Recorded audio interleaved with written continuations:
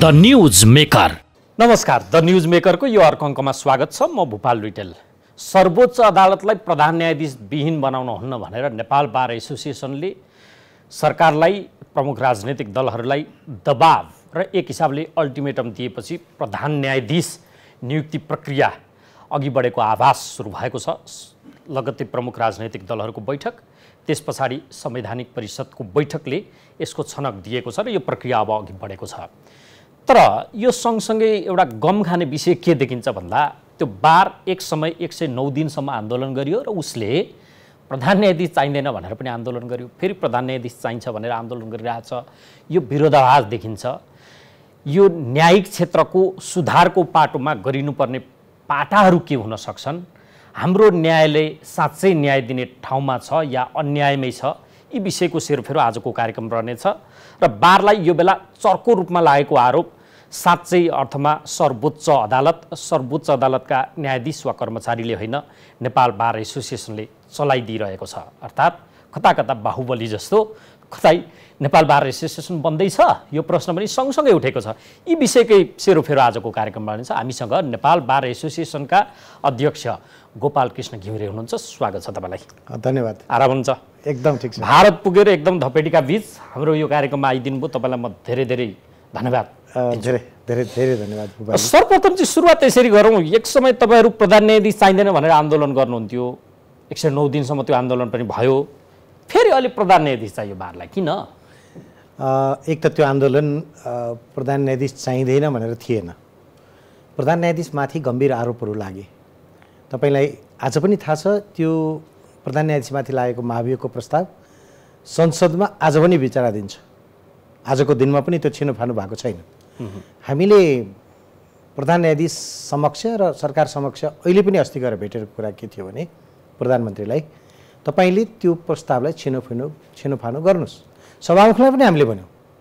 किनभने कुनै पनि प्रस्ताव महाभियोग प्रस्ताव जस्तो प्रस्ताव संसदमा विचारणीय छ त्यो पनि कसका विरुद्ध भने प्रधान न्यायाधीशका विरुद्ध। त्यही त त्यो त प्रधान न्यायाधीस चाहिँदैन भनेर आन्दोलन थियो। होइन नि अब यो प्रधान न्यायाधीश चाहिँदैन भनेर चाहिँदैन भनेर। होइन होइन प्रवृत्तिको कुरा गरे यसमा व्यक्तिको पनि नाम उहाँ त नचाहिने नि भएर हट्नुभयो नि त। यस्तो हो नि त्यो कुनै आन्दोलन चाहिँदैन भनेर थियो नि त। कुनै व्यक्तिको कुरा नगरौँ न।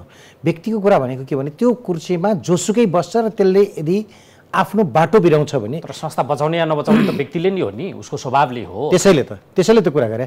त्यो व्यक्ति तर उहाँ त फेरि प्रधान न्यायाधीश हुनुहुन्थ्यो नि त। त्यसैले गर्दा आन्दोलन एक सय नौ दिनसम्म तपाईँहरूको उहाँ चाहिँदैन भनेर भयो तपाईँले भूपालजी तपाईँले भनेको र मैले भनेको बाटै फरक पऱ्यो कि? हामी थियौँ? मिलेन त कुरो त्यही हो नि प्रधान न्यायाधीश हटाउनु भएको आन्दोलन थियो नि। होइन प्रधान प्रधान न्यायाधीश हटाउन होइन नि प्रधान न्यायाधीश भ्रष्ट प्रधान न्यायाधीश हटाउन। कस्तो यो मजाक कुरा भयो भ्रष्ट सुन्नुहोस् न तपाईँले भ्रष्टाचार गरेको व्यक्तिलाई चाहे प्रधानमन्त्री होस् प्रधान न्यायाधीश हो या अरू कुनै व्यक्ति होस् त्यो व्यक्तिलाई हटाउनको लागि कुनै आन्दोलन हुन्छ भने त्यो प्रधान न्यायाधीश संस्थालाई हटाउन गरेको हो र प्रधान न्यायाधीश पात्र चाहिँदैन पात्र प्रवृत्ति। त्यो पात्र थियो नि त। त्यो ठाउँमा जोसुकै व्यक्ति बसोस्। तर उहाँ चाहिँदैन भनेर त भएकै थियो। निश्चय पनि निश्चय पनि त्यो भएको थियो। भनेको? फेरि तपाईँले अहिले प्रधान भन्नुभयो नि न्यायाधीश प्रधान न्यायाधीश चाहिँदैन भनेर होइन। ल अहिले किन प्रधान न्यायाधीश चाहियो भनेर यस्तो हो नि फेरि? तपाईँले हामीले आन्दोलनको कुरा तपाईँले कस्तो भन्नुभयो भने प्रधान न्यायाधीश भनेको त संस्था हो कार्य न्यायपालिकाको प्रमुख हो। न्याय राज्यका प्रमुख तिनवटा अङ्ग अङ्ग थुप्रै छन् संसदीय अङ्गहरू संवैधानिक अङ्गहरू तर तिनवटा प्रमुख अङ्गमध्येको महत्त्वपूर्ण अङ्ग जसले लोकतन्त्रलाई कसी लगाउँछ जसले लो यो अहिलेको संविधानको व्याख्या गर्छ त्यो संस्थालाई एडकिजममा चलाइयो हाम्रो आरोप यो हो एडकिजम इन द सेन्स कि कसरी चलाइयो भन्दाखेरि मानिलिनुहोस् प्रधान न्यायाधीश कन्फर्म नभए पनि चल्दछ। भनेर चौध महिनासम्म चलाइयो। हो। चौध महिनासम्म। दिपक राज कार्कीको समय त्यतिकै गयो। अब अहिले अहिले आएर जुन प्रधान न्यायाधीश हुनुहुन्छ उहाँको पनि कार्यकाल लगभग सिद्धिने अवस्थामा पुग्न पाँच महिना। बाँकी छ। पाँच महिना बाँकी छ। कुनै वास्तै नगरिकन हिँडेको कारणले गर्दाखेरि हामीले के भनेको त भन्दाखेरि प्रधान न्यायाधीश यो जुन न्यायालय छ न्यायालयले प्रधान न्यायाधीश पाउनु पर्यो। एडक्युजिमको भरमा चल्नु भएन कायम मुकायमको भरमा चल्नु भएन भन्ने हाम्रो हो। जस्तो नेपालमा केही कुरा रुकेको त छैन। चुनाव भयो नि। दुई तहको चुनाव भयो। एउटा स्थानीय निर्वाचन भयो संसदीय निर्वाचन भयो प्रदेश निर्वाचन पनि भयो। तिनै तहको निर्वाचन सम्पन्न भएर सबै ठाउँमा प्रधानमन्त्री हुनुहुन्छ मुख्यमन्त्रीहरू हुनुहुन्छ यो मेयरहरू हुनुहुन्छ।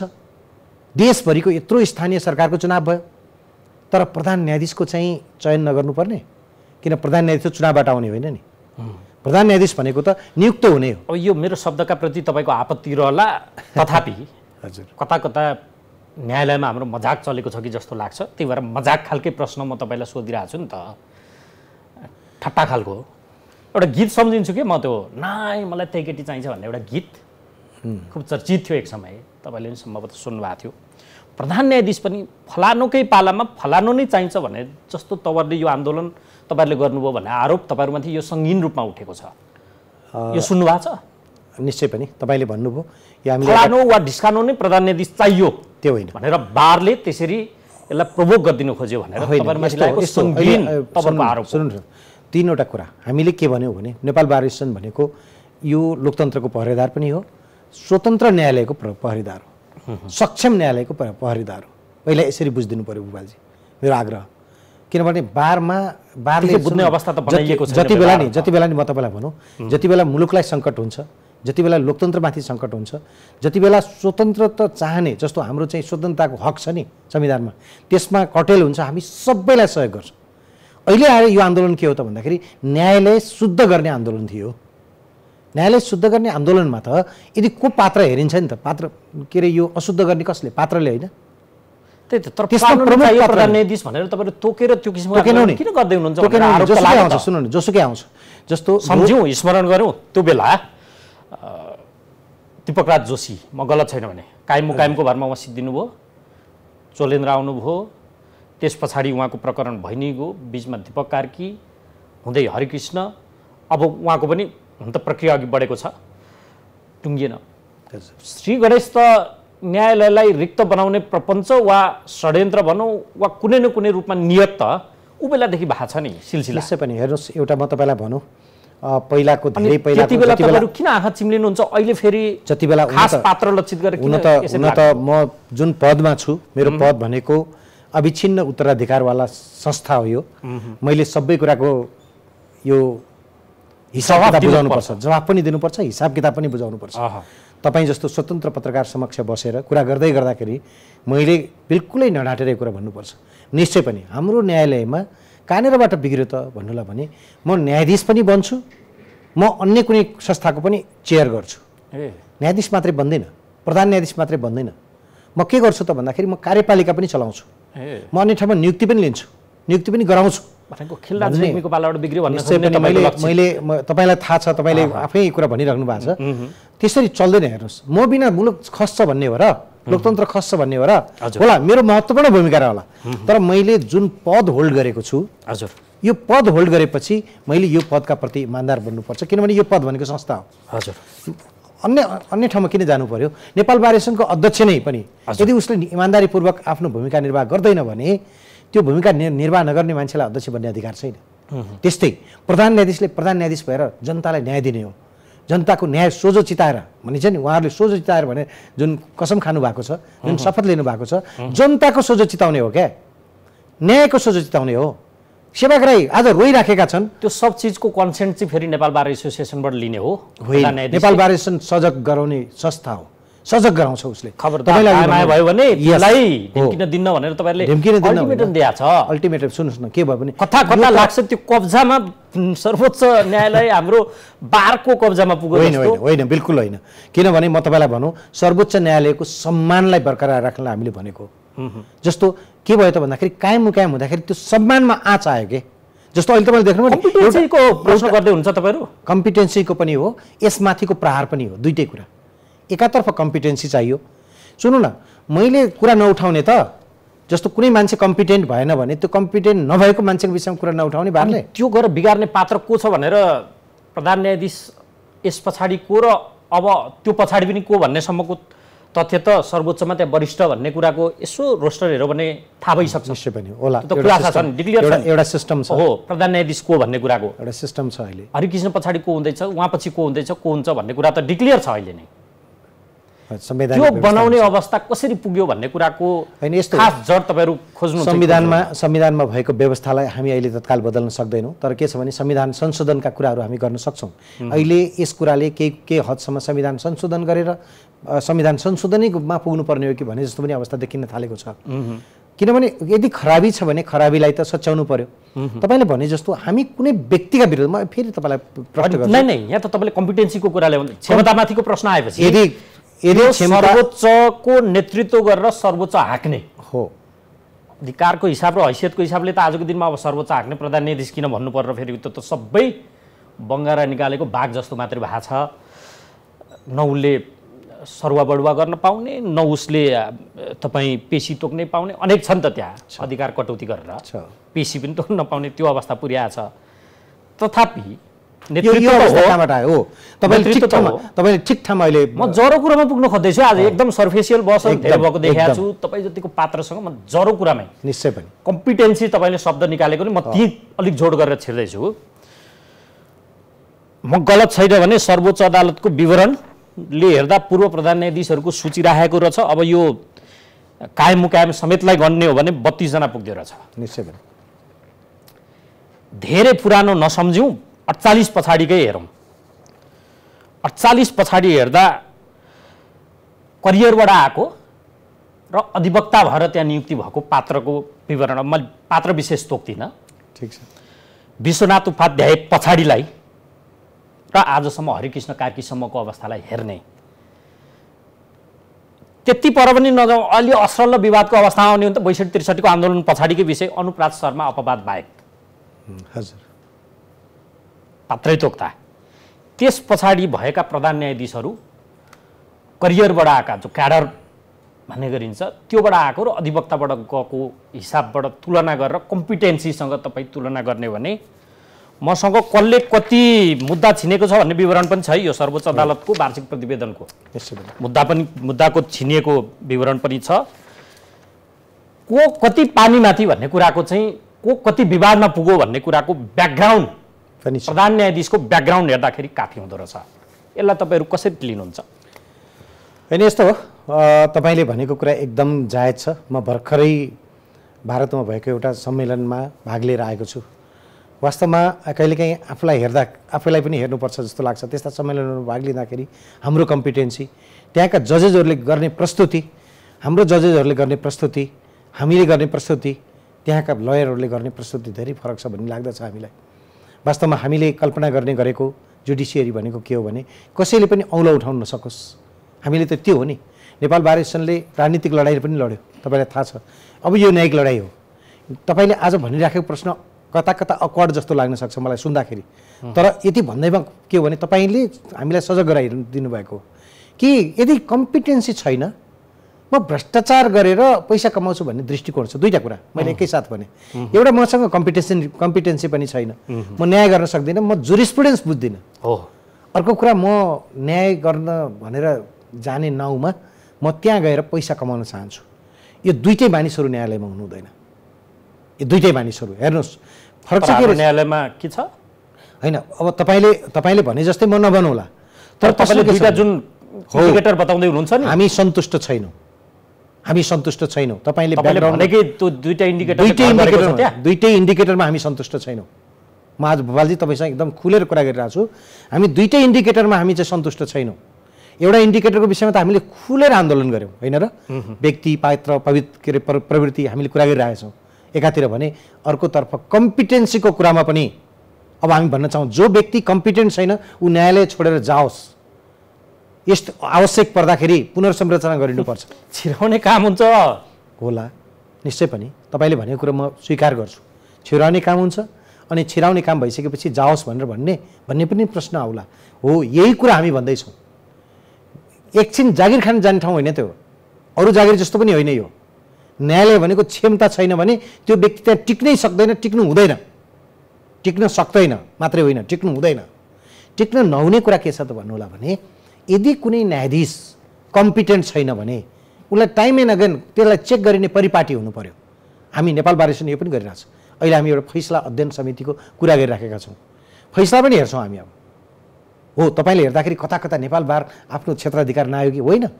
न्यायिक कुरासँग मात्रै सम्बन्धित छौँ हामी। आवश्यक पर्दाखेरि मुलुकको लोकतन्त्रको विषयमा पनि लड्छौँ। तर आज हामी सिस्टमिक सुधारको पक्षमा लागिराखेका छौँ। यो सिस्टमिक सुधार भनेको न्यायिक सिस्टमको कुरा हामी गरिराखेका छौँ। तर ढिलो मुद्दा छिन्यो भनेर तपाईँहरूको आन्दोलन नै हुन्न। होइन किन हुँदैन? प्रधान न्यायाधीश फलानु भएन फलानु न्यायाधीश बनेन। फलानु भएन भन्ने कुरा तपाईँले- अटोमेसनमा पेसी लैजाऊ भन्ने कुराको बजेट मागिदिने फागुनको बाह्र तेह्र इच्छामा बढी तपाईँहरू लाग्नु भएको छ नि। त्यो अटोमेसन के का लागि भने? हेर्न नहुने मुद्दाहरू धेरै भए। जस्तो आज अहिले पनि मुद्दा तोकिने बेला भयो फेरि तपाईँहरूको जोडबलमा बनेको अहिलेको कायम मुकायम प्रधान न्यायाधीशको तत्कालीन बेलाको नेतृत्व बनिएको समितिबाट रिपोर्टको आधारमा किन आयो त? यो हो। अवस्था हेर्नुहोस् न तपाईँले अघि भन्दै हुनुहुन्थ्यो नि पेसी तोक्न नपाउने प्रधान न्यायाधीश भन्नुभयो नि। सिस्टम त त्यही हुनुपर्ने हो।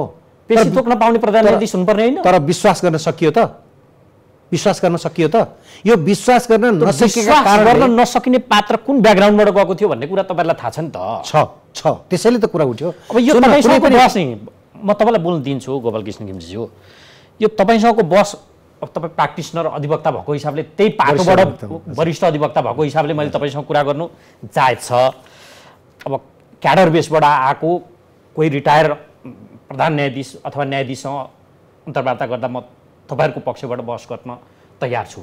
यति बेला चाहिँ मैले अघि तपाईँलाई केही नामहरू भने प्रधान न्यायाधीश भएका अनुहारहरू र अब भविष्यमा हुने अनुहारहरू पनि थाहा छ हामीलाई। हो, तिनको ब्याकग्राउन्ड तिनले चिनेको मुद्दा तिनीहरू नेतृत्वमा गए पछाडि भएको विवादै मात्र हेर्दा नि सबैभन्दा अब नामै तोक्न बाध्य पारिदिनु भयो मलाई।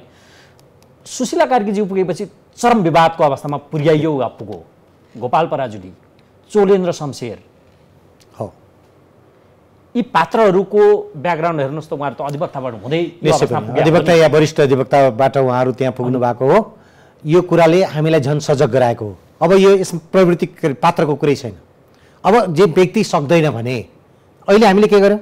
हाम्रो यो अहिलेको अभियान भनौँ या हामीले प्रधानमन्त्री भेट्यौँ र सभामुखलाई भेट्यौँ पार्टीका नेताहरूलाई भेट्यौँ र के भन्यौँ भने संस्थालाई प्रमुख दिनुहोस्। यो व्यक्तिको कुरा होइन। संस्थालाई प्रमुख दिनुहोस्। प्रमुख विहीन नबनाउनुहोस्। न्यायालयलाई नहेप्नुहोस्।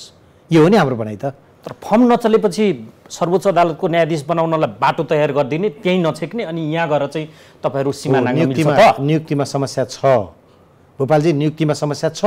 हामी आफै भनिरहेछौँ नियुक्तिमा किन समस्या छ भने तपाईँले भने जस्तो नाता गोता इष्ट मित्र साथीभाइ खोजेर न्यायालयमा पुर्याउने प्रवृत्ति छ।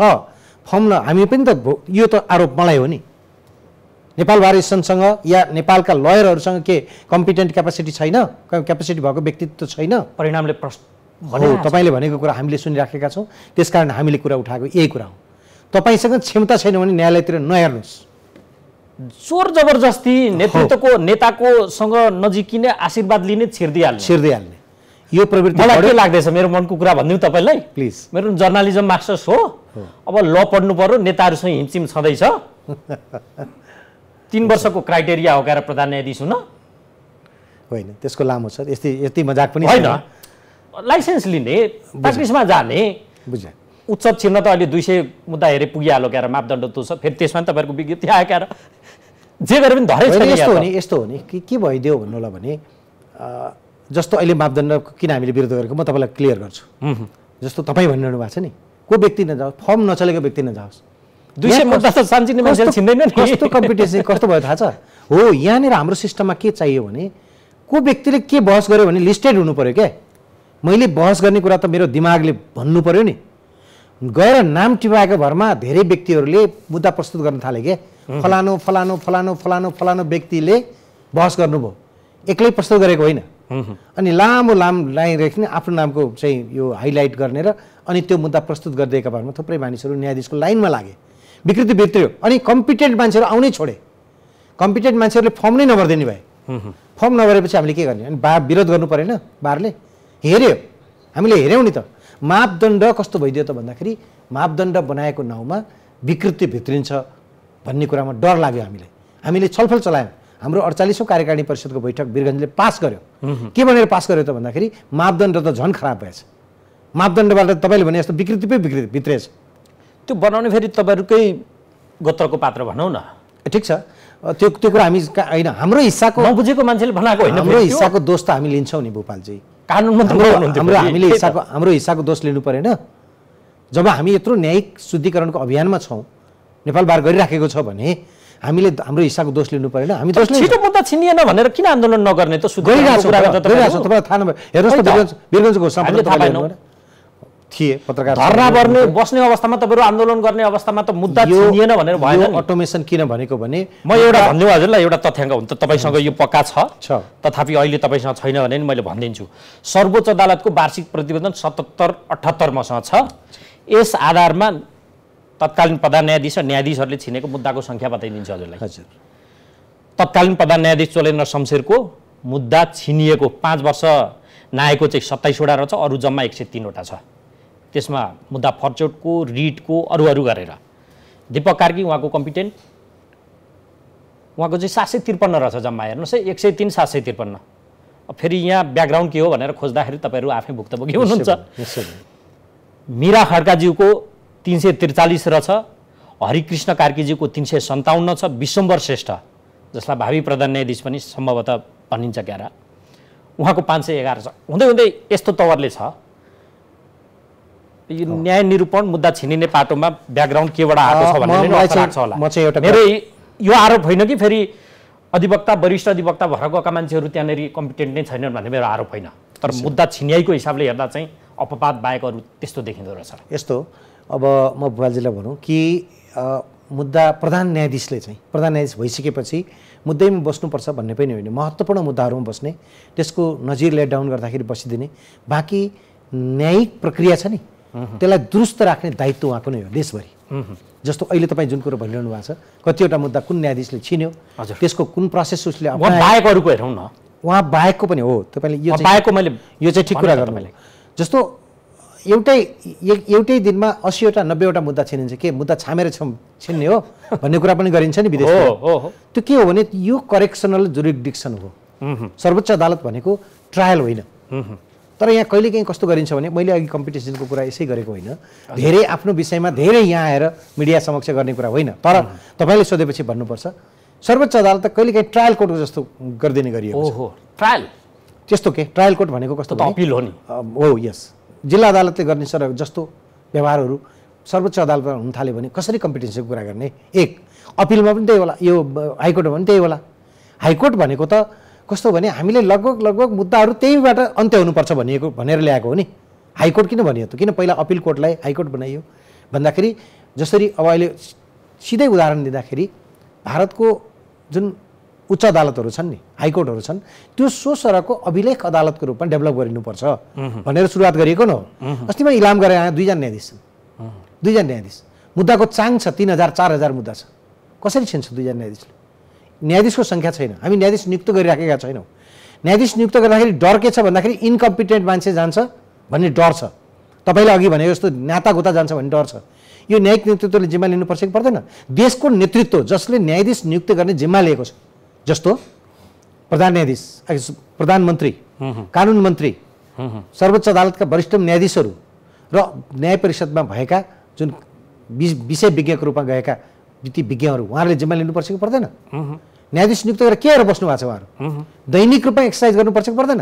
व्यक्तिको कुरा नगरौँ भनेर। व्यक्ति हो न्यायाधीश त व्यक्ति जाने हो नि। व्यक्तिको कुरा गर्नुपर्छ। एउटा न्यायाधीश नियुक्त गर्दाखेरि पाँच दिन लगाउनुहोस्। दैनिक काम गर्नुहोस् न हामीले भन्यौँ।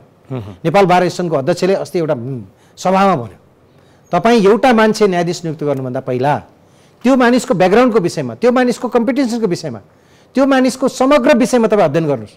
ह्याफजर्डली गरिदिनुहुन्छ एक दिनमा बिसवटा न्यायाधीश नियुक्त गरिदिने अनि त्यसपछि पछि गएर पस्ताएर पाइन्छ। हामीले भन्यौँ। हाम्रो आज पनि आग्रह के हो भने न्यायाधीश नियुक्त गर्नुभन्दा पहिला त्यो न्यायाधीशको ब्याकग्राउन्डको विषयमा त्यो न्यायाधीशको क्षमताको विषयमा त्यो न्यायाधीश के कुन अवस्थाबाट कुन ब्याकग्राउन्ड हो के योग्यता छ शैक्षिक योग्यता के हो उसको न्यायिक क्षेत्रमा गरेको योग्यता के हो? ल एकैछिन मान लिनुहोस् जुन फैसला पेस गरेको छ यति त गर्न सकिन्छ नि। तपाईँले सम्मानपूर्वक भन्ने अफकोर्स सम्मानपूर्वक भन्ने फैसला पेस गरेको छ एउटा फैसला उठाएर ल यो नाम मात्र लेखिएको छ नि। यसको ब्याकग्राउन्ड के हो? यसमा के जोरिस्प्रुडेन्स लेट डाउन भयो? आफूले गरेको मुद्दा थाहा हुन्छ नि त। ल विद्वान यो कुरो यति कुरा भनिदिनुहोस् त भनेर सोधिदिए हुन्न। एउटा प्रोसेसको म तपाईँसँग कुरा गरिरहेको छु। भने दैनिक रूपमा न्यायाधीश नियुक्तिको मिटिङ बसे हुन्छ। एउटा समय छुट्याएर। तर हामी कहाँ त के भयो भने एक रातमा बस्ने र असीजना नियुक्त गरिदिने। तपाईँले अघि भन्नुभयो नि एउटा इन्डिकेसन यसै आरोप खाएको होइन नि।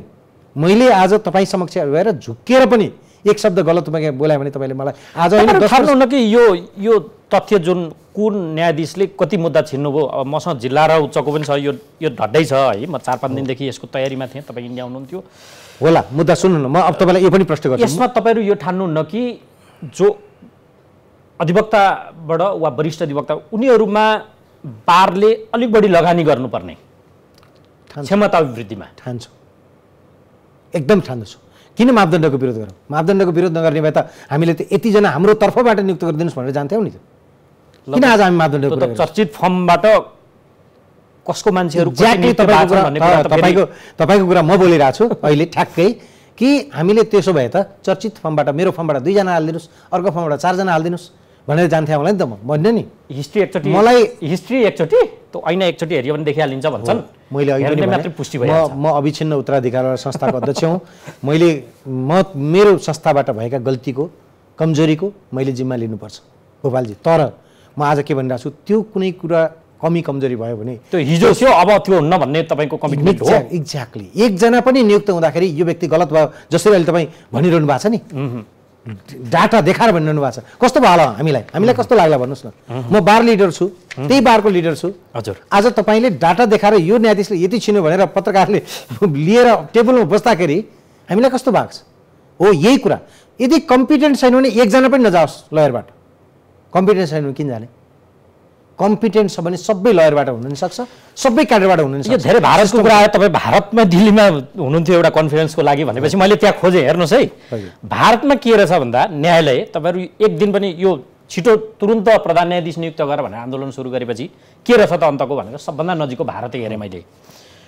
कमल नारायण सिंह भारतका बाइसौँ प्रधान न्यायाधीश हुनुहुँदो रहेछ। उहाँ उन्नाइस सय एकानब्बेको एक्काइस नोभेम्बरमा नियुक्त भएर बाह्र डिसेम्बरमा सेवानिवृत्त हुनुभएछ। जम्मा जम्मी सत्र दिन। सत्र दिन। सत्र दिनका लागि किन चाहियो भन्ने मानसिकता नै हुन सक्थ्यो होला। तर उहाँ हुनुभयो छत्तिस दिनका लागि हुने जयन्तलाल जयन्तीलाल छोटालाल पनि हुनुहुँदो रहेछ। एकचालिस दिनका लागि हुने गोपाल वल्लभ पटनायक पनि हुनुहुँदो रहेछ। तिस दिनका लागि राजेन्द्र बाबु हुनुहुँदो रहेछ। युयु ललित भन्ने चौरात्तर दिनका लागि हुनुहुँदो रहेछ। अथवा भारत त्यत्रो विशाल भारतमा साह्रै छोटो अवधिका लागि पनि प्रधान न्यायाधीश हुने पात्रहरू रहेछन् खोज्दा। तर हामी कहाँ तपाईँहरूलाई कति मन भदभद पोल्छ भन्ने प्रश्न हो मेरो दिपक राज जोशीदेखि सम्झिन्छु। म धेरै पुरानो त सम्झिन थाहा छैन। हजुर। दिपक राज जोशीदेखि मात्रै सम्झिँदा पनि आज दिपक राज जोशीको त्यत्तिकै सिद्धियो त्यहाँभित्र झन् ठुलो चरम राजनीतिकरण भयो। कुर्सी निकालेर शुद्ध कार्यालयबाट उहाँको फ्यालिदिएको सम्मको घटना सार्वजनिक भयो। हो। त्यहाँभित्र केसम्म हुन्छ भन्ने कुरा एउटा त्यसले पुष्टि गर्छ। फेरि यो मेरो सर्वोच्च न्यायालयप्रतिको मेरो अपमान होइन। फेरि यसैलाई मुद्दा बनाइदिएर ए अपमान गर भनिदिनु बेला त्यस्तोमा त्यस्तो हुँदैन। हेर्नुहोस् है त्यस्तो त्यो। दिपक कार्की हो।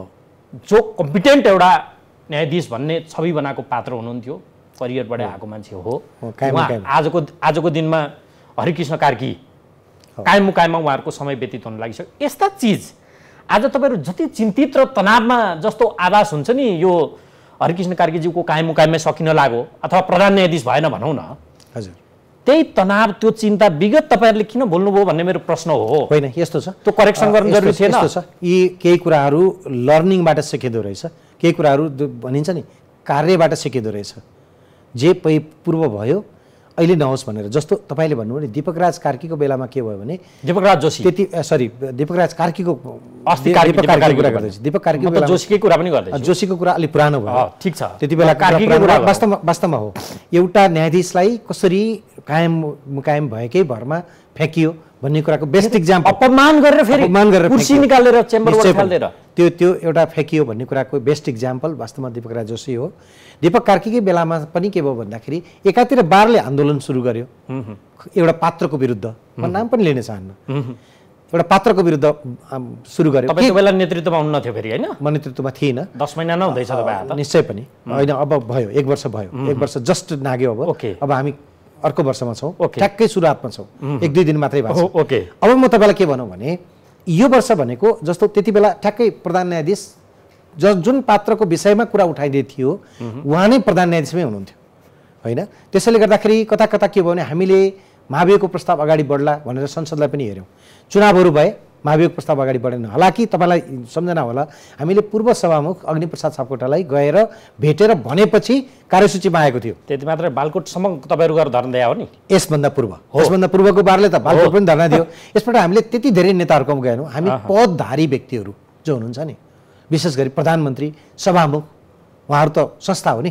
उहाँहरूकोमा गयौँ। र हामीले कडा भाषामा अस्ति त प्रधानमन्त्रीसँग त हामीले कति भन्यौँ भने यदि तपाईँले प्रक्रिया सुरु गर्नु भएन भने हामी बाध्य छौँ हो हामी लोकतन्त्रका पनि पहरेदार हौँ न्याय स्वतन्त्र न्याय न्यायपालिकाका पनि प- पहरेदार हौँ तर न्यायपालिका माथिको जुन प्रहार भएको छ यो जुन न्यायपालिकामाथि प्रहार भएको छ दुईवटा आन्दोलन हामी सँगै लडिरहेछौँ एउटा बाहिरबाट न्यायपालिका माथि हुने प्रहारलाई रोक्ने पनि हामी हो। अर्को न्यायपालिका भित्रको अशुद्धिकरण छ नि। तपाईँले भन्नुभएको भ्रष्टाचार र यो इन्कम्पिटेन्सी। तपाईँहरूको रिपोर्टले हाम्रो रिपोर्टले पनि हो। हो सर्वोच्च अदालतको रिपोर्टले भन्यो। नेपाल बार एसोसिएसनले पनि औँल्यायो यी कुरा पनि हामी गरिराखेका छौँ। हामी सँगसँगै दुईवटा लडाइँ लडिरहेछौँ गोपालजी।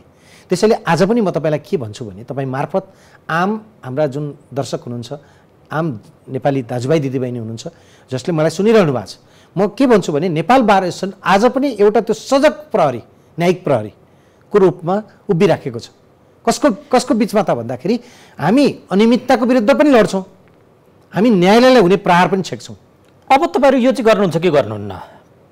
संसदको सदस्य भइसकेको व्यक्ति सर्वोच्च अदालतको न्यायाधीश र भोलिको दिनमा प्रधान न्यायाधीश पनि हुन सक्लान्। वा कुनै पार्टीको महाधिवेशन प्रतिनिधि वा केन्द्रीय सदस्य। त्यस्तो चिज रोकिनुपर्छ भन्ने ठान्नुहुन्छ कि ठान्नुहुन्न?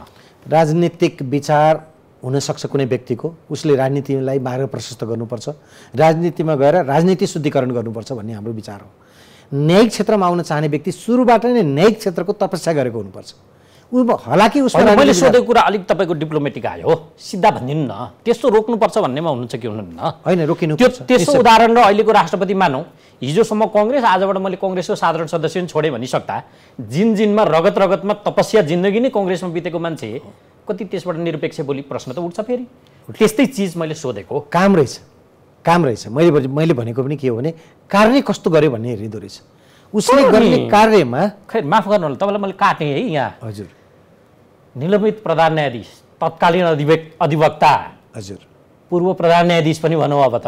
हजुर। चोलेन्द्र शमशेर जबरा जसको आदेशले नेपालमा राजनैतिक दल फुट्नेदेखि लिएर यति घन्टाभित्र सरकार बनाऊ भन्ने सम्मको विषय जुन आजको दिनसम्म निर्विवाद रहेन। न्यायाधीशको शपथ खाएर पार्टी कार्यालयमा गएर अभिवादन कमरेड भन्नेसम्म पनि घटना नेपालमै हो। भए। कस्तो लज्जा लाग्छ यो सुन्दा। हो। तपाईँलाई मैले भन्ने खोजेको यति नै- थियो। हामी। हामी अमेरिका होइनौँ। हामीले इलेक्सनबाट न्यायाधीश नियुक्ति गर्ने प्रथा हाम्रो होइन। हामी त्यो स्ट्यान्डर्डमा पनि छैनौँ। जस्तो म तपाईँलाई भनौँ हाम्रोमा के ल्याउन खोज्यो भने जस्तो संसदीय सुनवाई समिति यस्ता कुराहरू हामीले भित्रायौँ नि। यो विकृति भित्रायौँ भन्छु कि म। ट्रम्पले नियुक्त गरेको न्यायाधीशले ट्रम्पकै विरुद्ध फैसला गर्यो नि। गर्यो। खोजेको त त्यो थियो। त्यस्तो भने राजनीतिक मान्छे आउँदा फरक पर्दैन। तर राजनीतिक विचारवाला मान्छे आउँदा फरक पर्दैन। तर यहाँ त कस्तो भइदियो भने म जुन राजनीतिक विचार बोकेको छु त्यही राजनीतिक विचारको विषयमा म चाहिँ फैसला गर्न थालेँ भने अनि न्यायालय बच्छ हाम्रो यति हो।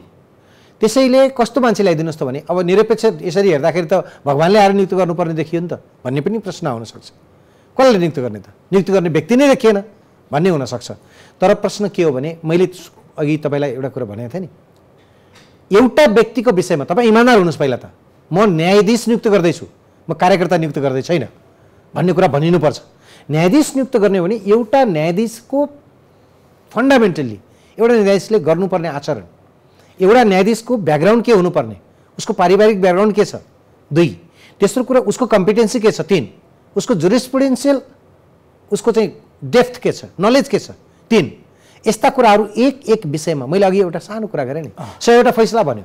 सयवटा फैसलामा एकचालिसौँ फैसला मैले उदाहरण भने एकचालिसौँ उहाँले लिस्टेड गरेर दिएको छ नि त। फैसला नम्बर एक यो। फैसला नम्बर दुई यो। आज मैले भनेको सुनिरहँदाखेरि कैयौँ व्यक्तिहरूले आज गएर फैसला पढ्न पनि थाल्नुहुनेछ। एकचालिसौँ फैसला तानिदिनुहोस्। र उहाँलाई के भन्नुहोस् भने तपाईँले एउटा फैसला पेस गर्नुभएको रहेछ। त्यो फैसला एकचालिसौँ नम्बर रहेछ। अब यो एकचालिसौँ फैसलाको जुरिस्पुडेन्स के हो? यसको तथ्य के छ? यसमा के लेट डाउन भयो ल अब मलाई भनिदिनुहोस् त। फलानु भर्सेस फलानुको मुद्दामा। म मुद्दाको पक्षको नाम भनिदिएपछि त उसले जान्नु पऱ्यो नि। परेन? आफूले दिएको फैसला? त्यो विषयमा ऊ जानकार हुनु पऱ्यो कि परेन? कि नाम लेखिदिएको भरमा?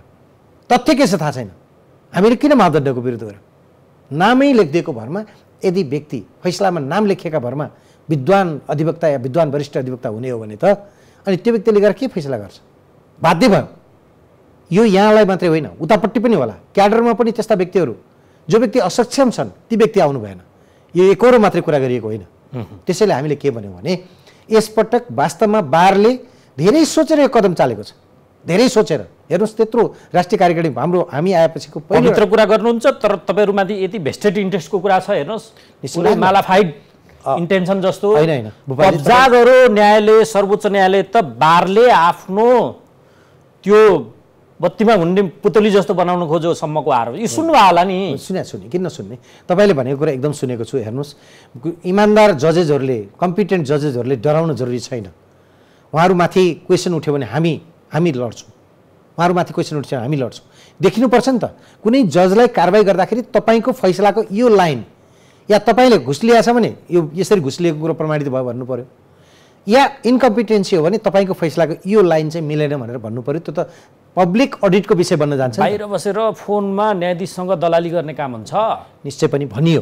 हो यही त। हामीले भनियो? प्रमाणित भएर न्याय परिषदले र तपाईँहरूले हामीले तर्फकोलाई पनि हामी आज पनि त्यही। दबावमा छौँ। सुन्नुहोस् न न्याय परिषदले किन कारवाही गर्दैन? इमान्दार छ भने सफाइ दिनुहोस् न। किन उसलाई लट्काइरहनु भएको छ? बेइमान छ भने कारवाही गर्नुहोस्। हामीले म नेपाल बार एसोसिएसनले आज पनि कानुन व्यवसाय परिषदलाई कुरा उठाइरहेको छ। हाम्रो अधिवक्ता जसको नाम जोडियो। तपाईँ किन उसको विषयमा केही भन्नुहुन्न? इमान्दार छ भने सफाइ दिनुहोस्। बेइमान छ भने कारवाही गर्नुहोस्। हामीले भन्यौँ नि। भनिरहेछौँ। हामीले अहिले पनि पास गऱ्यौँ यही कुरा त पटक पटक हामी गरिरहेछौँ। त्यसैले मैले के भनेको भने नि भुवालजी तपाईँ मार्फत पनि म भन्न चाहन्छु। वास्तवमा दुवैतर्फ के? यो कम्पिटेन्सीको लेभल पुगेन। भारत गएर फर्केपछि त मलाई कस्तो लाग्ने भने हामीले जुन रिप्रेजेन्टेसन गरेका छौँ। संसारले जसरी रिप्रेजेन्टेसन गर्छ अन्तर्राष्ट्रिय सम्मेलनहरूमा हालाकि नेपाल बार एसोसिएसनले यसपटक धेरै मेहनतका साथ तथापि लज्जा लाग्ने अवस्था आयो। फेरि लज्जाको कुरा गर्दिनँ म। लज्जाको कुरा गर्दिनँ। तर के भन्ने? हाम्रो हाम्रो हाम्रो तयारीहरू हाम्रो कोर्टको तयारी हाम्रो बारको तयारी कता कता हामीले धेरै बढाउनु पर्ने आवश्यकता छ। हाम्रो कानुन शिक्षाको लेभल हामीले कानुन शिक्षाको लेभललाई वात्तै बढाउन जरुरी छ। अनि कम्पिटेन्सी अघि तपाईँले भन्दै हुनुहुन्थ्यो लयरहरूलाई पनि कम्पिटेन्सी डेभलप गर्न जरुरी छ। जजेसहरूलाई पनि कम्पिटेन्सी डेभलप गर्न जरुरी छ। जनतालाई बुझाउन जरुरी छ। ल स्कुल्समा काम पढ्ने जुन हाम्रा चाहिँ भाइ बहिनी वर्गका जो भोलिका अधिवक्ताहरू हुनुहुन्छ उहाँहरूलाई हाम्रा सम्मेलनहरूमा बोलाएर राख्न जरुरी छ। तपाईँ यसबाट सिक्नुहोस्। उनीहरूको अगाडि हामीले डिस्कस गर्ने हो। त्यसो गर्दाखेरि फ्युचर जेनेरेसनले कसरी तपाईँलाई लिइराखेको छ भन्ने कुरा पनि आउँदो रहेछ। हामीले धेरै कुरा लर्न गरेका छौँ। तर के भने यो कोसिस सबैतिरबाट हुनुपर्छ। सबैतिरबाट। म मेरो मान्छे राख्छु भन्ने न्यायालयमा के अरे नियुक्त गर्न जाँदाखेरि म मेरो फलानालाई नियुक्त गर्छु भनेर गइदिएपछि अनि कसरी न्यायालय सप्रिन्छ? मैले एउटा अन्तर्वार्ता सुन्दै हेर्दै या पढेको पनि थिएँ। प्राध्यापक डाक्टर सूर्य सुवेदी। हो। भर्खरै नेपाल हुनु हो। बेलायतको लिड्स विश्वविद्यालयको प्राध्यापक एउटा संसारले गर्ने मानेको मध्येको हो। अन्तर्राष्ट्रिय कानुनको ज्ञाता हुँदो रहेछ। अडचालिस सालबाट नेपालको न्यायालयमा सुरु भएको विकृतिको पराकाष्ठमा नेपालको न्यायिक क्षेत्र पुगेको छ न्यायालय पुगेको छ। अब बन्द गर्ने बाटोमा गइएन भने सु सुध्रिने र सुध्रिने होइन धन ध्वस्त हुने अवस्थामा पुग्छ। उहाँको लाइन है यो। मैले अतिरञ्जना गरे होइन। अब मैले तपाईँलाई यो पोलिटिक्सको कुरा वा बारमा पार्टीगत रूपमा भागभन्डा भएर चुनिने कुरा एकाडेमिक क्षेत्रमा राजनीतिको कुरा हुने मैले संसारमा कहीँ देखिनँ नेपालमा मात्र देखेँ उहाँ त भन्दै हुन्थ्यो यस्तो हो। यस्तो हो, राजनीतिक विचार हुनसक्छ। भूपालजी तपाईँसँग नि एउटा राजनीतिक विचार होला मसँग नि एउटा राजनीतिक विचार होला। तर त्यो पात्रले के गर्यो भने हेरिँदो रहेछ। मेरो एक वर्षको हिस्ट्री हेरेर नुनको सोझो भन्ने उखान छ नि। त्यो होइन नि। त्यो होइन नि। त्यस्तो होइन। नुनको सोझो गर्दाखेरि पनि फन्डामेन्टल प्रिन्सि प्रिन्सिपललाई बिर्- बिर्सनु भएन क्या। मैले जस्तो मैले ठिक्क एक वर्ष बारमा कम्प्लिट गरेको तपाईँको कम्पिटेन्सी क्षमतामाथि त्यो पनि भनिनँ त्यो पनि प्रवृत्तिकै कुरा गर्छु। तर तथापि तपाईँले के भन्यो भने- विषय राजनीतिक दलबीच अन्डरस्ट्यान्डिङ भएर एक हिसाबले गठबन्धन भएर टुङ्गिएको विषय छ नि बारमा। नेतृत्व चाहिँ होइन र? कि मैले यो निश्चय तपाईँलाई पनि निश्चय पनि। तपाईँले भनेको कुरो म मान्दछु हामी राजनीतिक एउटा न्यायिक राजनीति भन्छु। न्यायिक राजनीति कानुन व्यवसायभित्रका जुन हाम्रा वैचारिक सङ्गठन न्यायिक राजनीतिले आजको दिनमा सर्वोच्च अदालतलाई क्यान्सरमा पुर्यायो कोमामा पुर्यायो नि त। हामी यो हो हामी रोक्न खोजिरहेछौँ। आज हाम्रो क्रियाकलाप हेरिदिनु पऱ्यो कि? जसको मैले नाम रिफरेन्स लिएँ नि। त्यस्ता विद्वानले भनेको कुरा हामी नजरअन्दाज गर्न सक्छौँ कसरी नजर अस्ति हामी हाम्रो बेलायत भनौँ न हामीले उहाँले उहाँले उहाँको रेकमेन्डेसनमा। या उहाँको प्रपोजमा नेपाल बार एसोसिएसनले एनआरएन युकेसँग एउटा चाहिँ एमयु गरेको छ। कि यहाँको त्यहाँ हुने समस्या जुन साम्पत्तिक विवाद सम्बन्धी समस्या छन् त्यसलाई नेपाल बार एसोसिएसन बिचमा बसेर ती व्यक्तिहरू नठगिउन् भनेर बिचमा बसेर उहाँकै प्रपोजलमा हामीले चाहिँ एउटा काम सुरु गरेका छौँ अहिले। यो न्यायालयलाई वास्तवमा। राजनीतिको कब्जाबाट बाहिर पुर्याउन साँच्चै स्वतन्त्र छ यो अटोनोमस हो भन्ने बनाउन एउटा विद्वान वरिष्ठ अधिवक्ता आजको बारको अध्यक्षले दिने सुझाव के रहन्छ भनिदिनुहोस् यस्तो नियुक्तिमा तपाईँले अघि कुरा त संवैधानिक परिषददेखि लिएर न्याय परिषदसम्म हो। कानुन व्यवसाय परिषदसम्मको कुरा ल्याउनु भएको छ। मैले ती विषय त कानुन र संविधानमै लेखियो मैले देखेको चाहिँ है मेरो प्रश्न यहाँ छ। त्यो हेरिङ यो सुनवाईबाट संसदीय सुनवाईबाट आइसके पछाडि एउटा चिज खोजेको मैले भेट्नै सकिनँ। चार दिनदेखि भौतारियो भेटिनँ। धेरैलाई सोधेँ गोलमाटोल जवाफ आयो। नियुक्तिबाट आएको विशेषज्ञताको नाममा नियुक्तिबाट आएको न्यायाधीश र जो प्र्याक्टिसनर छ क्याडरबाट आइरहेको छ तिनको पोर्टफोलियो मेन्टेन त्यहाँ ऱ्याङ्किङ कस्तो हुन्छ? भन्ने क्राइटेरिया खोजेको त्यसको के हो क्राइटेरिया भेटिनँ मैले। सोधेँ धेरैलाई। हो। उहाँहरूको जवाब गोलमा टोल आयो। न्याय परिषदसँगका पात्रसँग को निकट छ त्यसको आधारमा राखिदिउँ त भनेर राखिदिने हो। सोह्र डोलो जवाब पाएको है मैले यो। हो। यसलाई मैले आरोप लगाएको नठान्नुलाई मलाई भन्नेले त्यही भन्दै म बा स्रोतसम्म पुगिनँ। मेरो कमजोरी पनि हुनसक्यो यो सुने। खराबी त त्यहाँ पनि छ कि? होइन यस्तो हो म तपाईँलाई सिधै भन्छु निकटको विकट यो के भने। आखिर त्यसले त बिस वर्षमा त परिणाम ल्याउँदो रहेछ नि त। आज तपाईँले बिस वर्षपछि हामीले नियुक्ति गर्न थालेको बिस वर्षपछि त हाम्रा परिणाम देखिन थाले। छ्याल ब्याल भएको छ नि त। हो। अब यो कति यो अपमान सहेर या यो आरोप बेहोरेर नेपाल बार एसोसिएसनको अध्यक्ष हिँड्छ अब।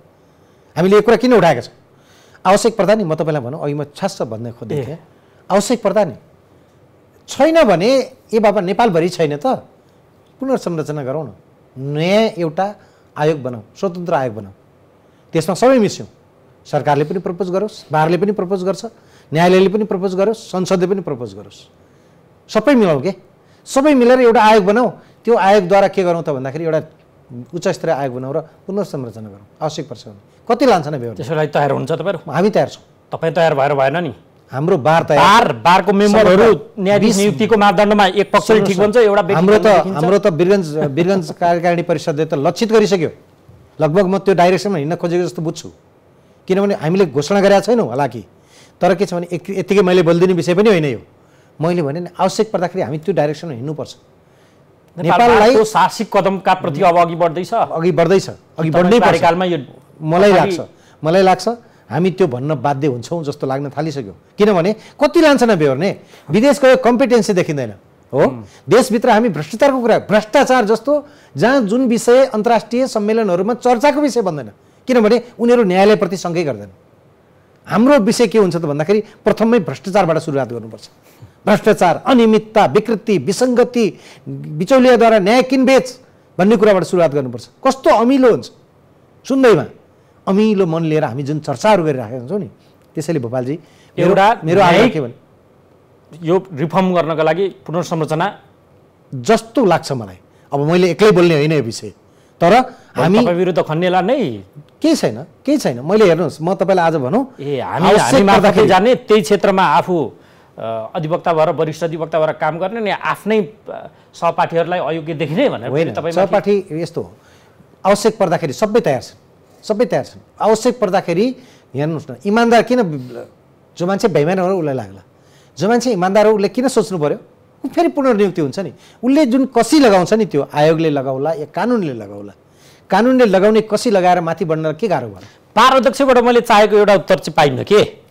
अब ट्याक्कै त्यो तपाईँले भन्नुभयो बिस वर्षमा त देखियो नि त परिणाम। त्यो बन्द गराउने बाटो बन्छ कि बन्दैन त? त्यो बन्द गराउनु त फेरि कानुन संविधान मूल सफा? हुनुपर्छ। मूल नत्र त्यो। Portfolio ranking. हायरकी मेन्टेन गर्ने क्राइटेरिया बनाइदियो भने मूल। सफा हुनुपर्छ मूलमा आँट हुनुपर्छ मूलमा बसेका व्यक्तिमा आँट हुनुपर्छ जस्तो नियुक्तिमा हेर्नुहोस् प्रधान न्यायाधीश सर्वोच्च अदालतका वरिष्ठतम न्यायाधीश कानुन मन्त्री प्रधानमन्त्रीले तोकेको एकजना कानुनविद प्रधानमन्त्रीले तोकेको राष्ट्रपतिले र नेपाल नेपाल बार सङ्घको। प्रतिनिधित्व गर्ने एकजना वरिष्ठ वरिष्ठ माइनोरिटीमा छ यो अब मैले के भन्न खोजेको भने यो मूल सफा गर्नका लागि काहीँ कतै के अरे यो एक्जिक्युटिभ ऊ बढी भयो कि? हस्य बढी भयो कि? त्यो कम्पोजिसन चेन्ज गर्ने। जरो आवश्यक पर्छ भने त्यो न्यायिक मैले भनेको आयोगले गर्छ नि। राजनीतिक रूपमा त्यो हावी हुने संरचना बन्द गर्ने यस बन्द गरौँ। न्यायिक कुरा गरौँ न। न्यायिक कुरा गरौँ। मैले अघि भने जस्तो गरौँ। एउटा व्यक्ति नियुक्ति गर्दाखेरि पाँच दिन इन्टरभ्यू लिउँ। किन खराब सुन्नु न। होला ओहो के पनि कुरा आउँछ भने तपाईँले इन्टरभ्यू लिने तपाईँहरू न्यायाधीश नियुक्त गर्ने ठाउँमा गएर इन्टरभ्यू सुरु गर्ने भन्ने पनि आएको छ। तर प्रश्न के हो भने म हामीले एकातिर मापदण्डको विरोध गऱ्यौँ अर्कोतिर हामी कडा मापदण्ड अप्नाउनुपर्छ पनि भनिरहेको छु। यस्तो बोल्ने चाहिँ तपाईँले जस्तो बोल्ने चाहिँ क्षमतामा विश्वास गर्ने नियुक्तिको लोभ लालच नहुने निकट नहुनेहरूले मात्रै हो नि फेरि। ठिक छ। मलाई हेर्नुहोस् जो- कलिएका जलप लागेको वरिष्ठ भन्नेहरूले पनि फेरि चपाइदिन्छन् यो कुरो त। ठिक छ उहाँहरूलाई लाग्ला। तर म आज भनिरहेको छु कुनै दिन त यो कुरा आउला नि। तपाईँ मार्फत म बोलिरहेको छु कुनै दिन त नियु एउटा मानिस नियुक्त हुँदा पाँच दिनसम्म उसको विषयमा सोच्नुहोस्। लगातार छ महिना लगाएर नियुक्त गर्नुहोस्। त्यो संरचना परिवर्तन नगर्ने भने के हुन्छ? के देख्नुहुन्छ? अब आँट आएन नि त आँट देखिएन नि। उहाँहरूको त्यो आँट देखेन। गरिएन भने के हुन्छ? परिणाम के आउँछ? त्यसमा कति घातक। अरू घातक हुन्छ। अहिलेका नियुक्ति फेरि विवादमा आउँछ। हेर्नु होला तपाईँ। म भनिरहेको छु। झन् बढी झन् बढी विवादमा आउँछ। अनि झन् बढी विवाद आउने के हुन्छ? एकातिर एकातिर आन्दोलनलाई गिज्याउँछन् मान्छेले त्यो एक्ज्याक्टली तपाईँलाई यही भएर त म म सजग किन छु आज? किन हामी सजग भएर यो कुरा गरिरहेको छौँ भने हामी फेरि कुरा उठाउँछौँ हेर्नुहोस्। मानिसलाई अब कस्तो स्थिति आइसक्यो भने नि मानिसले गरेको फैसला अब हामी फैसला अध्ययनको कुरा गरिरहेको छौँ फैसला अध्ययन जो व्यक्ति कम्पिटेन्ट छैन भने कृपा गरेर नआइ नआइदिनुहोस्। तपाईँले आफूलाई सेल्फ जजमेन्ट त गर्न सक्नुहुन्छ नि। कृपा गरेर न्यायालयतिर नआइदिनुहोस्। जो आशीर्वाद दिनेले प्रसाद दिनेले उसैलाई प्रसाद प्रसाद होला। त्यही? प्रसाद त हामी रोक्न खोज्दैछौँ। प्रसाद तपाईँको क्षमताको प्रसाद किन छैन? बारको यत्रो इतिहास हेर्नुहोस् त एकपल्ट भोपालजी। निश्चय पनि हामीलाई लडाइँ लड्नु पर्ला। हामी आफैभित्र पनि लडाइँ लड्दैछौँ। म अहिले तपाईँलाई भनौँ हामी बारभित्र पनि लडाइँ लड्दैछौँ यस कुराको। आरोप हो गाह्रो छ। म मान्दछु यो कुरा। गाह्रो छ। गाह्रो छ भनेको कुरा के भने हामीलाई चाहिँ आफैभित्र लडाइँ लड्न पनि गाह्रो छ। तर हामी लड्दैछौँ। हामी लड्छौँ। औ करिब करिब अन्त्यतिर छु म दुई तिनवटा मात्रै कुरा सोध्छु। मार्टिन लुथर किङको चर्चित भनाइ एक ठाउँको अन्याय संसारको न्यायलाई धम्की। यो सर्वोच्चले पाँच वर्ष नआएको मुद्दा छिनिएको विवरण राख्दो रहेछ यहाँ त बिस वर्षदेखि न्याय नपाएका मान्छेहरू रहेछन्। छन्। यसपटक ढिलो न्याय अन्याय। यसपटक सर्वोच्च अदालतको मुद्दा व्यवस्थापन समिति मेहनत गरेर काम गरिरहेको छु म किन त्यसको मेम्बर हुन्छु? अब म जस्तो व्यक्ति त्यहाँ भए भएपछि मैले कुरा उठाउनु कति बाँकी राखेँ होला तपाईँलाई जानकारी हुनुपर्छ। तर त्योभित्र सिस्टमका कुरा आए अहिले। जस्तो गोला प्रथा भयो। तपाईँले अघि भन्नुभयो नि अटोमेसनको कुरा किन गर्नुहुन्छ। हामी फर्किन सक्ने अवस्थामा छैनौँ भूपालजी एक हामी फर्किन सक्ने अवस्थामा छैनौँ। गोलाले हेर्न नहुने न्यायाधीश धेरै परिदिए। गोला र अटोमेसनमा के फरक छ? होइन, त्यो मेनुअल भयो त्यो मेसिनरी हो। बेसी यस्तो हो नि। त्यसले हेर्न नहुने न्यायाधीश पहिले स्क्रिनिङ गरिदिन्छ। किन उसको रेकर्ड फेरि यो। गोला प्रथा वा अटोमेसन त गलपासु जस्तो भयो हेर्नुहोस्। हेर्न नमिल्ने पनि गरेर पर्दैकै छ। हो त। एक या महिना छिनिन्थ्यो भने पाँच महिना लाग्यो? होइन होइन। गोला प्रथालाई अटोमेसनसँग नजोड्नुहोस् न। गोला प्रथा होइन? गोला प्रथा अस्थायी हो। गोला प्रथा अस्थायी हो। त्यही त त्यही कुरा आयो नि। गोला प्रथामा कस्तो हो गोला छान्ने बित्तिकै ए मेरो फलानु नाताको व्यक्ति परेछ। हेर्न नमिल्ने। भयो। अटोमेसनले पहिले नाताको व्यक्ति छुट्याइदिन्छ कि? अटोमेसनले ए, रेकर्ड राखिदिन्छ छुट्टिएर आउँछ। अँ, त्यो छुट्टी छुट्टिएर आउँछ। भनेपछि के भयो त भन्दाखेरि अटोमेसनले पहिले अचम्म अस्ति प्रधानमन्त्रीलाई भेट्दा फेरि यो माग पनि तपाईँले राख्दै हुनुहुन्थ्यो। होइन यस्तो बजेट माग दिँदै हुन्थ्यो सर्वोच्चलाई। यस्तो हो नि उसले के गर्ने? सर्वोच्च सर्वोच्चबाट जानुपर्ने कुरा। मेरो घरको बजेट कति चाहियो मेरो छिमेकीले माग दिने। सक्दो रहेन। छिमेकी होइन नि। हामी न्यायिक अङ्गकै हामी न्यायिक नै अङ्ग हौ। नाता गोता पर्ने छिमेकीले माग्यो नि त्यस्तो होइन नि त्यस्तो होइन नि। न्यायालयलाई जे आवश्यक पर्छ त्यो त हामीले उठाइदिनु पऱ्यो नि कुरा त। त्यो त संस्थागत उठाएको हो नि। संस्थागत रूपमा न्याय खास उठ्नु पर्थ्यो त सर्वोच्च प्रशासनबाट? उहाँहरूले उठाउनु भएको छ तर त्यो उहाँको कुरा बाहिर जाँदो रहेनछ। उहाँहरूको कुरा भन्नु मिल्दो रहेछ सक्नुहुन्न उहाँहरू? सायद त्यो सिस्टममा छैन त्यो माग्ने कुरा। त्यही त तपाईँहरू बाहुबली हुनुहुन्छ भन्छ। होइन होइन त्यस्तो होइन नि हामी त स्वतन्त्र छौँ नि त। हामी कसले कुरा उठाइदिनु? तर बजेट मागिदिनुहुन्छ गर भनिदिनुहुन्छ न्यायाधीश नियुक्ति गर भन्नुहुन्छ सरुवाको विषयमा तनाव दिनुहुन्छ भनेपछि त। तपाईँहरूमा बट्टा। चलाएको त कसले देख्छ तपाईँहरूले चलाएको देख्यो त्यो होइन भोपालजी त्यो होइन। प्रश्न के हो भने हामी बाहुबली होइन हामी सिस्टम करेक्सनको पक्ष यो अटोमेसन पनि त के का लागि पैसा मागिदिएको? त्यहाँ के खाजाको पैसा बढाइदियो भने हो र होइन नि। चाहिहाल्ला त्यो पनि लार्जर एस्पेक्टमा भन्दाखेरि तलब कम भयो होला। तर त्यो? तपाईँले अतिरिक्त इच्छा देखाउनु भयो वा क्षेत्राधिकारमा नागेर होइन बिल्कुलै। प्रधान न्यायाधीशसँग गएर भेटेको उहाँले के भन्नुभयो भने हामी लागू त गर्न सक्थ्यौँ तर दुई करोड रुपियाँ पुग्दैन भन्नुभयो। गजबको कुरा? त्यो एउटा प्रधान न्यायाधीश हुन त अहिले त अधिकार बिन बनाइदिएको छ। जसले पेसी तोक्न नसक्ने प्रधान न्यायाधीश तपाईँहरूले बनाउनु भयो। चाहेकै यही होला नि त। होइन होइन प्रधान न्यायाधीश किन हुने? भोलिको दिनमा प्रश्न त्यो उठला। जो प्रधान न्यायाधीश बजेट माग्न सक्ने हैसियत राख्दैन बारले गरेर मागिदिनुपर्छ चाहेकै त्यही होला तपाईँहरूले। जो प्रधान न्यायाधीश मात्र न्यायाधीश छैन न्याय परिषद अन्तर्गत छ र ऊ मेरो बढुवा गराइदिनु पऱ्यो वा सर्व गराइदिनु पऱ्यो भने ऊ प्रधान न्यायाधीशप्रति जवाबदेही छैन बरु न्याय परिषद पनि कानुन मन्त्रीलाई गएर भन्छ र ए गरिदिनुहोस् भनेर आदेश कानुन मन्त्री मार्फत प्रधान न्यायाधीशलाई जान्छ। तिठ लाग्दा र नमिठा उदाहरण। पकेका मान्छेहरूले भनेको कुरा भन्दैछु म तपाईँलाई। त्यस्तो प्रधान न्यायाधीश बनाउनका लागि तपाईँहरू लड्नुभयो यस्तो हो सिस्टमको कुरा हो भोपालजी यो अब कस्तो भयो? यो अब त यही। हिजोको दिनमा जुन प्रतिवेदन बन्यो आज तपाईँले भन्नु भने अहिलेका कायम कायम प्रधान न्यायाधीश थियो जो त्यति बेला न्यायाधीश हुनुहुन्थ्यो उहाँको अध्यक्षताको जो कमिटी बन्यो त्यसलाई नेपाल बार एसोसिएसनले पनि स्वामित्व ग्रहण गर्यो। नेपाल बार एसोसिएसन पनि त्यसको चाहिँ हिस्सेदार छ। हामीले त्यही आन्दोलनलाई अगाडि अगाडि बढाएको छौँ। व्यक्ति प्रवृत्तिलाई विश्वास गर्न सकिने र भएन छ कि? अब प्रधान न्यायाधीश अहिलेकै जस्तो बनिरहन्छ। सुन्नु केही दिन केही दिन कस्तो हुन्छ म तपाईँलाई भनौँ। केही दिन विश्वसनीयता कायम गर्न समय लाग्छ। त्यसपछि फेरि पुरानो अवस्थामा फर्किने हो। होइन फर्किने कुरा नगरौँ न अधिकार सिस्टम त फर्किने? सिस्टम त सुधारतर्फ अगाडि बढ्छ नि। कहाँ पछाडि फर्किने कुरा गर्नु के हुन्छ? प्रधान न्यायाधीश त अधिकारविहीन भयो नि। सुन्नु न प्रधान न्यायाधीश कसरी अधिकार दिनुहुन्छ? किन प्रधान न्यायाधीशलाई किन प्रधान न्यायाधीशको जम्मा हैसियत के देखिने भयो भन्दाखेरि अवकाशपछि पाउने सुविधा भन्दा बाहेक त देख्दै देखेन। कम्पिटेन्ट किन चाह्यो त? किन चाह्यो उहाँलाई? उहाँले बस्ने गर्ने। पर्दैन। अनि अधिकार भने के? मुद्दा तोक्ने मात्रै अधिकार हो? फैसला गर्नु न। दसवटा राम्रा फैसला गर्नुहोस् त तपाईँलाई इतिहासले पढ्छ भोलि तपाईँको इतिहास त्यहीँबाट भन्छ तपाईँलाई किन चाह्यो? प्रधान न्यायाधीश भन्नु किन लालाइतो नि त त्यसो भए? किन? उहाँ प्रशासनिक मान्छे हो र। प्रशासनिक मान्छे तपाईँले हो? बनाउन चाहेको यस्तै नै हो। होइन। सिधा जवाब दिनु प्रधान न्यायाधीश कम्पिटेन्ट होस् चाहेको हामीले। कम्पिटेन्ट होस् उसले राम्रो फैसला गरोस्। पेशी तोक्न पाउँदैन। उसले सुन्नु न उसले बजेट माग्न पाउँदैन। नो बजेटको कुरा नगरौँ। जसले पोलिसी। निर्धारण गरोस्। पोलिसी निर्धारण गरोस्। त्यो पनि आफ्ना फैसला मार्फत यस्तो देशलाई डाइरेक्सन गरोस्। हामीलाई गर्व लाग्ने सिचुएसन आओस्। अघि मैले सोध्दै थिएँ नि मार्टिन लुथर किङ्सको उदाहरण दिँदै। एक ठाउँको न्याय संसारको न्यायलाई धम्की हो। धेरैले अराजक उदाहरण दिन्छन्। दुर्गा प्रसाईसँग अघिल्लो अङ्क मेरो अन्तर्वार्ता थियो। सर्वोच्च अदालत कस्तो? धेरै न्यायाधीश बुढाखाडा हुनु भएको छ कति बिरामी नहोइदिने कति रिक्त हुनुभयो। मैले न्याय पाइनु पाँच वर्ष भयो भन्दै हुन्थ्यो उहाँ बिस वर्षदेखि नपाउनेहरू पनि रहेछन् के? यस्तो। मैले सक्दिनँ भनेको दिनसम्म न्यायाधीश बन्ने ठाउँहरू पनि छन् होइन? उहाँहरूले आफै आफ्नो रिटायरमेन्ट लिनुहुन्छ। त्यस्ता न्याय न्यायिक क्षेत्र पनि हाम्रो संसार यही संसारमा छ। हाम्रोमा त्यस्तो होइन। पैँसठी वर्ष हामीले अन्तिम तोक्यौँ। होइन? पैँसठी वर्षको एक दुई वर्ष यताउता अझ त्यो वर्षलाई बढाउनु पर्छ कि किनभने व्यक्ति जब एकदम क्षमता हुनुहुन्छ त्यस्तो भनिएको छ। तर हामी अहिले के सोच्दैछौँ भने सर्वोच्च अदालतमा पनि एउटा निश्चित अवधिसम्म मात्रै व्यक्ति काम गर्ने अवस्था रहनुपर्छ। जीवनभरि नै सर्वोच्च अदालत नियुक्ति हुने र त्यहीँबाट पेन्सन पकाउने जस्तो गरेर हुनु हुँदैन भन्ने खालका कुराहरू पनि उठ्न थालेका छन्। एकातिर भने अर्कोतर्फ भने नि मैले यो कम्पिटेन्सीको कुरा चाहिँ कस्तो हुन्छ भने अहिले मैले भने नि यो भनेर मात्रै हुने कुरा होइन के? त्यो कम्पिटेन्सी भित्रबाट बिल्डअप भएर आउनु पर्यो।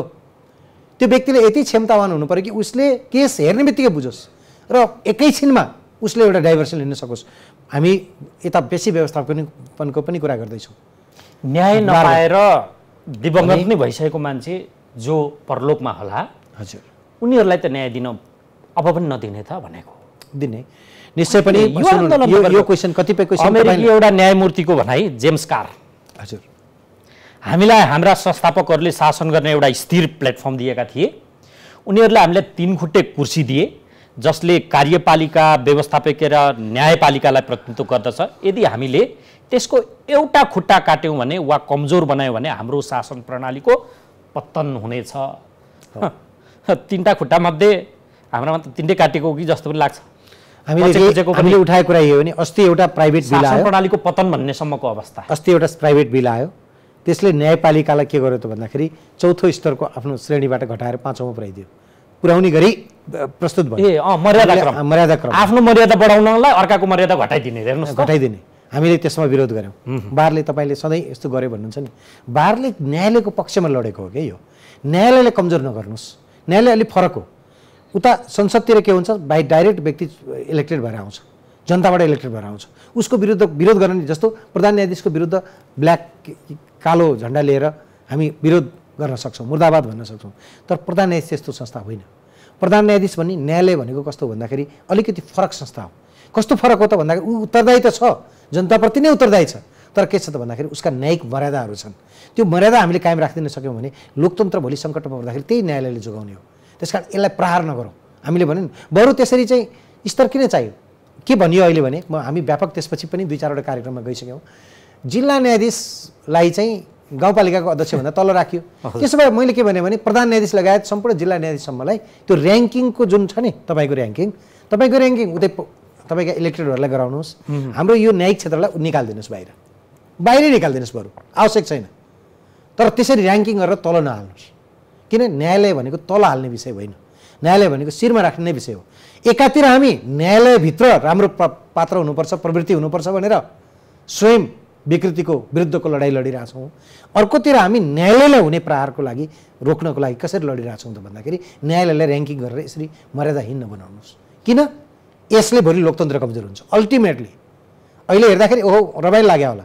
ओहो न्यायाधीश त मभन्दा तल छ। भन्दाखेरि रमाइलो लाग्यो होला। तर भोलि के हुन्छ त भन्दाखेरि त्यसरी न्यायालयलाई मर्यादाहीन बनाइयो भने लोकतन्त्रमाथि जब प्रहार हुन्छ न्यायालयका न्यायालयबाट दिएका आदेशहरू फैसला लागु नहुने अवस्थामा पुग्यो भने के हुन्छ? अनि बाँच्छ लोकतन्त्र। यति महत्त्वपूर्ण। अघि तपाईँले तिनवटा खुट्टा भनेर जुन एकजना विद्वानको भनाइबाट भन्नुभयो नि त्यो वास्तवमा तिनवटा खुट्टामध्ये एउटा त्यस्तो खुट्टा हो जसले कार्यपालिकाबाट भएका कामहरू र व्यवस्थापिकाबाट भएका कामहरूको कसी लगाउँछ। कार्यपालिकाबाट भएका प्रधान सरकार नै अदला बदली भयो न्यायालयको फैसलाले। हामीले भर्खर विगत भर्खरैको पास्ट हामीले हेरेका छौँ नि। राजनीतिमा अर्कोतिर। कानुन बनाउँछ संसदले। यदि असङ्गत कानुन बन्यो भने त्यो असङ्गत कानुनलाई निरस्त गर्ने त्यसलाई खारेज गर्ने अधिकार पनि न्यायालयसँग छ। त्यो त छ नि त हामीले लेख्या होइन। त्यो न्यायालयलाई तपाईँले प्रहार धेरै गर्नुभयो प्रहार नगर्नुहोस् भन्ने हो हाम्रो एकातिर। अर्कोतिर फेरि न्या त- अघि पनि तपाईँले भन्नुभयो पात्र खराब छ भने त्यो पात्रलाई हटाउनुहोस् सही पात्र ल्याउनुहोस् नियुक्तिदेखि नै सही पात्र ल्याउनुहोस् र त्यो व्यक्तिको अडिट पनि गर्नुहोस्। अडिट भनेको के त भन्दाखेरि त्यो व्यक्ति के गरिराखेको छ? त्यो अडिट पनि गरिराख्नुहोस् बेला बेलामा। त्यो अडिट गर्ने ठाउँ भनेको नेपाल बार एसोसिएसन हो। तपाईँले अघि दादा भन्नुभयो नि होइन?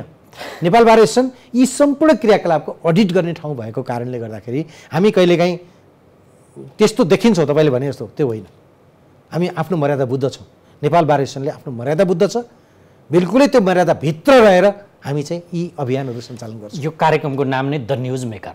हजुर। समाचार बन्छ कि तपाईँको कुरा पछि? निश्चय पनि। अब तपाईँको निचोड चाहिँ यो कार्यक्रममा बोलेको बारको अध्यक्षले आएर हामीसँग अन्तर्वार्ता दिएपछि यो बोल्नुभयो कि अब राजनीतिक रूपमा आशीर्वाद प्राप्त गरेर न्यायाधीश नियुक्ति हुने क्रम बन्द गर्न तपाईँले अघि के पुनर्संरचना गर्ने न्यायिक पुनर्संरचना गर्ने आयोग बनाउने गरीको आन्दोलनतर्फ अघि बढ्छौँ। तपाईँले त्यही भन्नु बढ्न आवश्यक पर्दाखेरि हामी अगाडि बढ्छौँ। निश्चय पनि। बढ्यौँ अब भन्ने घोषणा गर्न सक्नुहुन्छ। अहिले यस्तो हो नि त्यसको लागि एउटा हाम्रा सम्मेलन अध्यक्ष आएर द न्युज मेकरमा बोल्नु भएको निश्चय पनि। हामी हाम्रो सोचाइ त्यतातर्फ बढ्न थाल्यौँ। हामी बिस्तारै आफ्ना अभियानहरू त्यसतर्फ सञ्चालित गर्न थाल्यौँ। आवश्यक पर्दाखेरि हामी हाम्रा राष्ट्रिय सम्मेलनबाट पास गरेर त्यो कुरातर्फ नै अगाडि बढ्छौँ। भनेको अब लगत्तैका नियुक्तिहरू पनि राजनीतिक आशीर्वाद प्राप्त गरेर नहुने हुन्छन्? बन्द हुन्छ? भएछ भने त्यो त्यहाँ टिक्नै नसक्ने अवस्थाको हुन्छ। हामी त्यो गर्न दिँदैनौँ। बन्द गराइदिनुहुन्छ? पनि। निश्चय पनि। अहिले हाल्यो भने पनि भित्र भित्र ऱ्याङ्किङ क्याडरबाट आएको र नियुक्ति भएर आउनेको ऱ्याङ्किङ त्यहाँ मिलाएर प्रधान न्यायाधीश बनाउने आशीर्वाद प्राप्तलाई जुन खेल हुन्छ त्यो रोकाउन। त्यो हामी रोक्छौँ। हाम्रो कामै त्यही हो। हामी के भन्छौँ भन्दाखेरि त्यो राजनीतिको आवरणको मात्रै कुरा होइन। न्यायिक क्षेत्रमा पनि नाता गोता हुन्छ नि। नाता गोता गोटी खेलाएर। फलानु व्यक्तिलाई यहाँ ल्याइदिएपछि यस्तो हुन्छ। भन्ने ढङ्गबाट बाघचाल जस्तो। ल्याउन कोसिस गरियो भने ती सम्पूर्ण व्यक्तिहरूले कम्पिटेन्सीको कसी लाग्नुपर्छ तिनीहरूलाई कम्पिटेन्सीको कसी लागेर कोही व्यक्ति आउँछ भने जोसुकै व्यक्ति हुनसक्छ तर कम्पिटेन्सीको कसी नलागेको व्यक्ति न्यायिक क्षेत्रमा आएर जागिर खानलाई शुद्ध जागिर खाने उद्देश्यले पेन्सन। हुन्छ त्यहाँ निश्चय पनि। अब त्यो त तपाईँले व्यक्ति हेर्ने बित्तिकै थाहा भइहाल्छ। त्यसैले हामी के चाहन्छौँ? तर तपाईँसँगको कुराको सार निकाल्दा चाहिँ मसँग तलतल त धेरै थियो मेटिया छैन अब समय सकियो। मजाक चाहिँ हाम्रो न्यायालय अझै भइराख्ने रहेछ केही समयदेखि नै होइन? हामी कोसिस गरिरहेछौँ गराउने। मजाकबाट मुक्त गराउने हामी कोसिस गरिरहेछौँ। यो वास्तवमा तपाईँले भनेको कुराले हामीलाई ठाउँ ठाउँमा गएर यो कुरा भनिरहँदाखेरि पिन्च हुन्छ। पिन्च हुन्छ। हस्। यो महत्त्वपूर्ण समय संवादका लागि धेरै धेरै धेरै धन्यवाद। धन्यवाद। हामीसँग हुनुहुन्थ्यो वरिष्ठ अधिवक्ता नेपाल बार एसोसिएसनका अध्यक्ष गोपाल कृष्ण घिमिरे। उहाँसँग हामीले न्यायिक क्षेत्रको शुद्धिकरणको विषय कहिले प्रधान न्यायाधीश नचाहिने भनेर आन्दोलन कहिले चाहिन्छ भनेर फेरि आन्दोलन यो के मजाक जस्तो विरोधाभास जस्तो भनेर पनि ठट्यौली पारैले अलिक बढी कुरा भयो। किनकि मजाक चलिरहेछ न्यायालयमा भनेर स्वयं उहाँहरू भनिराख्नु भएको छ। मजाक मजाकमै हामीले झन्डै झन्डै एक घन्टा बितायौँ। अर्को अङ्कमा फेरि तपाईँ हाम्रो भेट हुने नै छ। हामीलाई आजलाई बिदा दिनुहोस्। नमस्ते। The news maker. It's an AP1 presentation.